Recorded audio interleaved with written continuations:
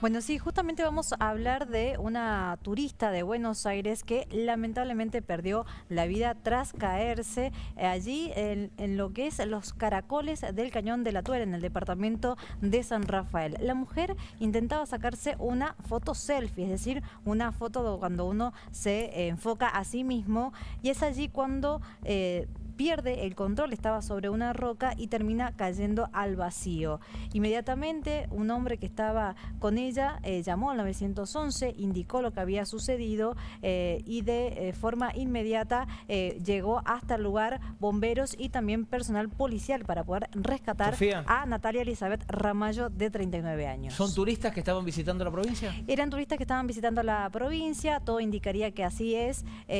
son oriundos de San Fernando de Buenos Aires y lo que dice la crónica policial es que cuando se intentó rescatar a la mujer eh, estaba en inconsciente, estaba muy lastimada, pero lamentablemente a los pocos minutos eh, eh, informaron que había fallecido. Todo debido al golpe que se dio tras, bueno, diríamos caerse de la roca de la cual ella estaba sacándose una selfie. ¿Cuántas veces hemos hablado de estas situaciones que uno lo lee en los diarios? Sí, a nivel mundial. A nivel mundial. Ha ocurrido varias... claro, por hacer una foto distinta, por hacer una foto que llame la atención, llegás hasta eh, el pico máximo de un lugar para tener un paisaje realmente espectacular, pero muchas veces la naturaleza te juega en contra, como le pasó a esta mujer de 39 años. Exactamente. Bueno, sí hay que tener mucho cuidado con las fotos selfie, sobre todo, ¿no? Porque, como bien decía Sergio, a veces por quererla hacer distinta la fotografía, no medimos el peligro que puede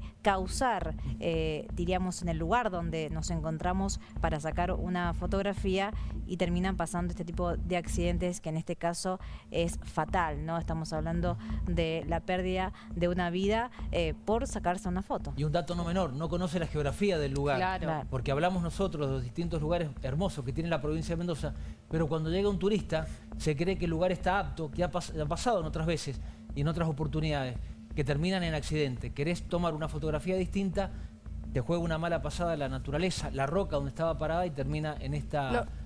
Y además, digo, esto de tomar una fotografía selfie implica hacer determinado equilibrio si uno está en una zona donde, bueno, no puede pararse bien, etcétera. Muchas cosas se inciden, ¿no? En que puede ocurrir un accidente. Sí, lamentablemente hoy tenemos que informar, ¿no? Acerca de la muerte de esta mujer por algo que se podría totalmente haber evitado.